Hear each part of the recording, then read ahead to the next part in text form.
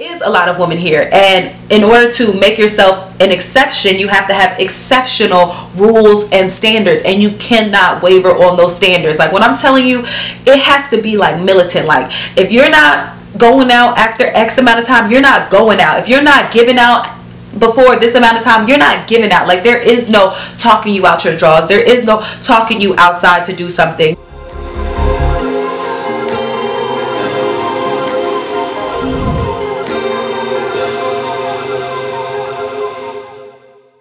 hello everyone and welcome back to my channel. So today i wanted to just kind of talk about some of the experiences i've been having while being single for basically the last two years living in atlanta georgia. Because you guys it has just been it has just honestly been so ghetto and so like the dating olympics like it's such a finagle a process a, a understanding a like you it's really it's really a course. It's really a course and it ain't a, it's not an easy course. So i just wanted to talk about it a bit and give some of my insights on my experience and what i've learned and and, th- and things i've had to change throughout the time so me naturally i'm a very open person. I'm a very bubbly person. But I have very like high expectations for people that I keep in my life because I'm a believer that everyone around you is a, a, reflection of who you are and you make a choice ultimately to keep everyone in your life. So if you're dealing with a bunch of toxic people, it's because you're toxic. It's never a case to me where it's like them, them, them, them, them and I'm just an innocent bystander because we always have choice. We always have a choice of who we let in our life and we have a responsibility to ourselves if we love ourselves to make sure that the people that we're keeping in our, in our lives are of a certain standard that we keep and that we're keeping ourselves ultimately to that standard too. So initially when I got to Atlanta, I was meeting most of the guys that I was dating like in a nightclub outing situation. And I'm not saying that you can't find somebody of quality in those situations, but I tend to believe that if someone is out drinking, partying, listening to low vibrational music, because that's normally what it is, doing low vibrational activities because that's just what drinking is, smoking, etc., then that's normally what's attracted to that. And me being completely honest with myself, in that time, I did I did share in a lot of low vibrational things. So I was meeting people that it was it was happening things were happening very quickly. It was a whirlwind and things were ending very quickly. And my heart it was weighing so heavy on my heart because it was it was like a it was like a flip of the script. It was like one day you meet a guy he loves bombs you you you you know buying you stuff taking you out every single day. And the next thing you know they disappear. So you know i really had to learn through that process to like listen to what people say and not what they do first of all and take time. Like in my opinion they're they're you know yes it's cool it's fun it's fairy tale. Like i really wanted this fairy tale. It's fairy tale to go out with a guy every single day and y'all are having bomb experiences. But some of these men they're just going out with you every day to make you familiar with them so that you can easily they can just easily get you out your drawers period some of these men want to stay on the phone with you 24 7 so that it feels like they're dating you and they don't have a responsibility to actually get their booty up and take you somewhere that you want to actually go. So that's why now, like, I'm not staying on the phone with you 24 7. I'm not, we're not staying on FaceTime 24 7. We're not, we can't go out every single day. We can have our designated date days. And I had, I try, I'm actually in the process of like, trying to because i'm working so much right now that i don't even have date days but making a schedule where that is included. But i think that that's very important. Like you don't want to constantly be available to anyone and especially not to someone that you might be interested in because then your time is not valued. Like that's just simply put it's like you're you're just an option your time is not valued you're like always there always ready you know?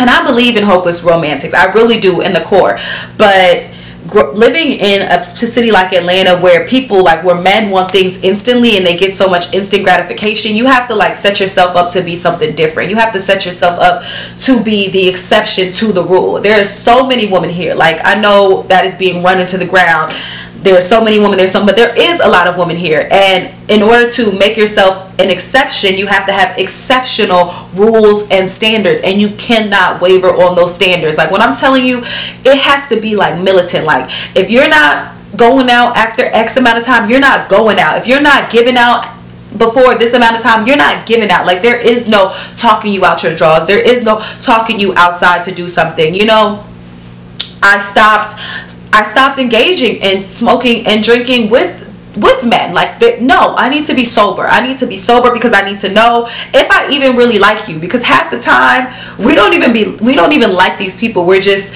experiencing these things and it's oh it's fun. It's you know and and, and then it just goes from there. It's just a vibe. And so many people will say things like that. Oh well if it, if the vibe's right i'm going with it. No. No it's not about a vibe. It's like it's about self-love. Like does this person exceed the expectations that you have for yourself or at least do they meet it? Like you can literally vibe with so many people but so many people don't deserve you. You know what i'm saying? Like so many people you can vibe with people but that doesn't mean that people deserve your authentic pure self. They they really don't. And dating here has shown me that you have to create a bubble for yourself. You know, you have to create your your space, your zone, create a process for yourself of loving, create a system for yourself so that you know what you're not going to accept and what you and what you will accept and stick to that like no other. And so I've just really been I've really been practicing this and learning this throughout. Like it has not been easy. Like I have cried. I have been down and out because my my spirit has almost been broken because so many people that I've put trust in, they were disappointing me. So then I had to look at myself like, well, am I disappointing myself in certain ways? Am I really trusting myself? And then I had to really like write it down like what do I really want in someone? What am I going to value? What are my non negotiables? What am I even doing this for? Am I doing this because I just want company? Am I doing this because I'm just lonely? Or am I doing this because I want to find a person who is equally yoked so that we can fulfill God's purpose in us for our lives? And once I establish that, it is so easy and so clear for me to, mm, that's not it, mm, that's not it, that's not it. And that might not be your purpose to find your soulmate or to find the person that's going to help you fulfill your purpose through God. Your your mission right now might be I just want a man to take me out on nice dates. But then stick with that purpose. So if it's not a nice date, y'all been going on date 1, date 2, date 3 and date 4, he's like, mm, "You want to meet me at the crib?" No. I don't. I don't want to meet you at the crib because that's still not my purpose to why I'm doing this. I'm doing this because I want to meet nice people to go on nice dates. And when the dates stop, you stop. So it's the same thing with me and my purpose. When I align with my purpose of that, I'm doing this because I want to fulfill my purpose through God. If they are no longer helping me fulfill my purpose with God, then there is no more time or energy that I have to spend in this in this lane with this person. To me, that is able to X out so many toxic relationships in that process. And through that process of really fine tuning what your purpose is and what you're doing it for, you're able to protect yourself because you're not easily able to be gaslit. You're not easily able to be derailed because you know exactly what you're doing it for. When you're confused about why you're doing it, it's easy for you to be like, well, why not? Like you're, it, it, the why nots can come in, the doubt can come in. But if you already know your why, there is no why not. So coming up with that, it's literally taken years to get to this place of why I even want a partner. Why I, instead of just it just being this is what I know, this is what I've heard. I don't don't want to be lonely like really like down to the core of the why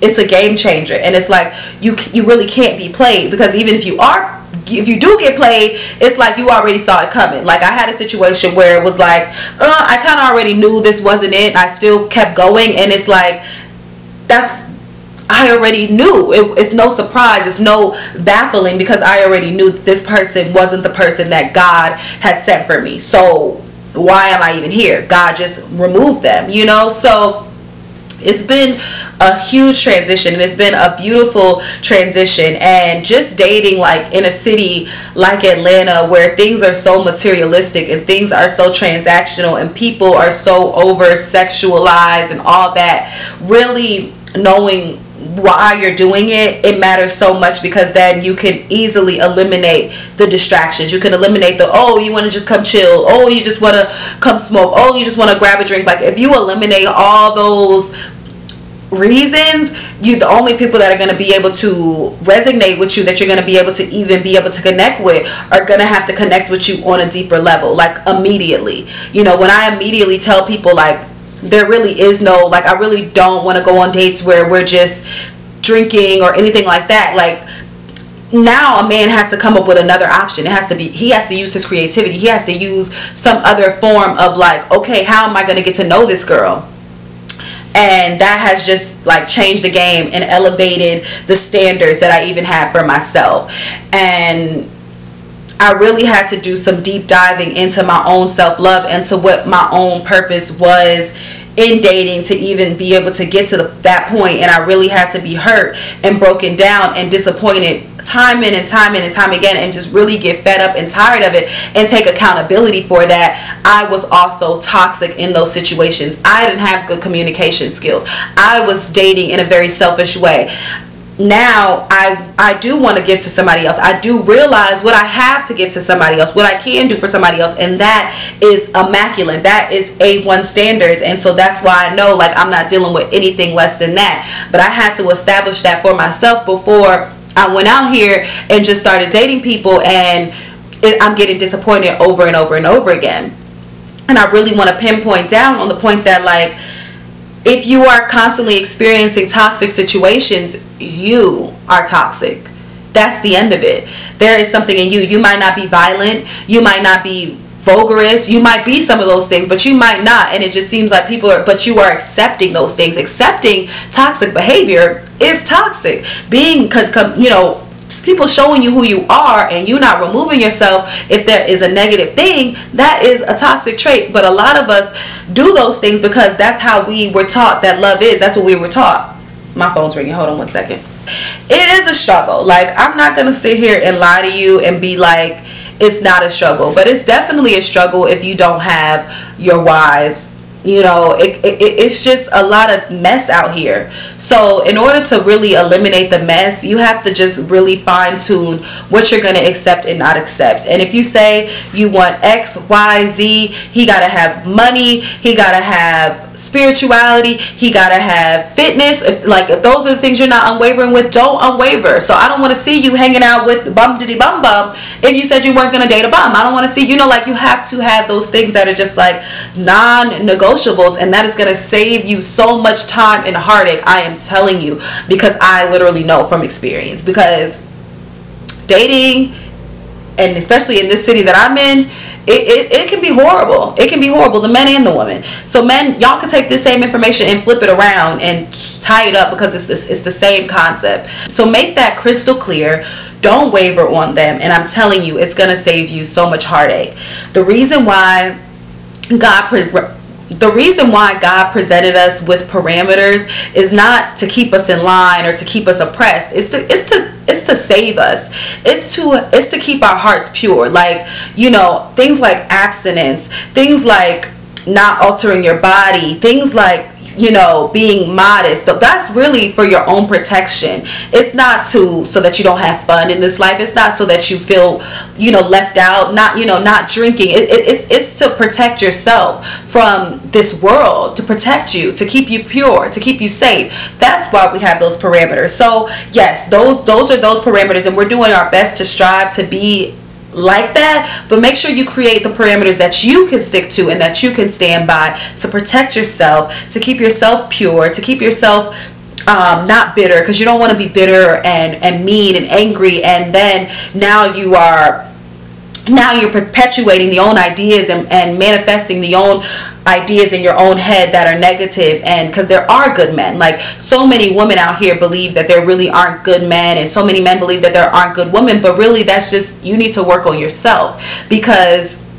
those good men they've worked on themselves and they're going to look at you from a mile away and be like yeah she's toxic not dealing with her. He's she um she's going to look at you and be like he's toxic not dealing with her. There are so many people that i've dealt with in the past that if i met them today they wouldn't have a chance because I'm, I'm gonna see it. I'm be like, yeah, you you you talking about your ex too much. Like all you do is talk negative about your ex, not dealing with that. Or yeah, she, you know, you know, like you don't want to be Captain Save a Hole. Like you know, oh, she needs help with all this stuff. I'm that's not what I'm, you know, here for. I'm here to be a man to her, but not to be a daddy to her.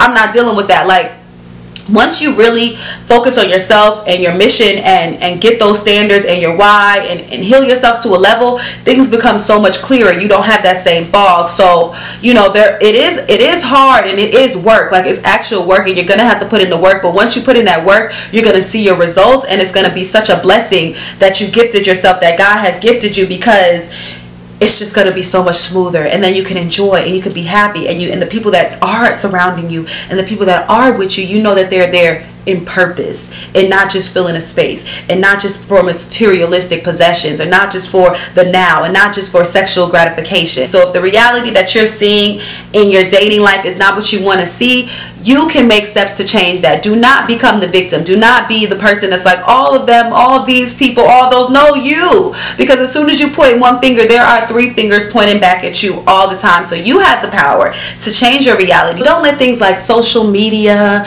television, any type of outside narrative simmer into your brain and have you believing that what you want and what you deserve doesn't exist. But you have to hold yourself accountable and making yourself that person that deserves those things.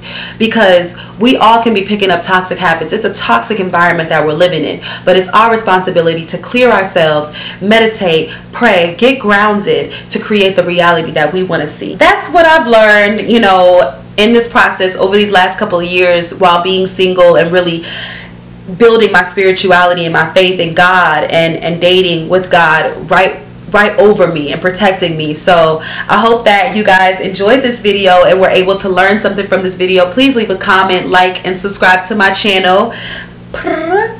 And have a blessed dating life. And to my singles, you know I'm saying? Y'all stay safe out here. Y'all stay safe out here because mm, it's crazy.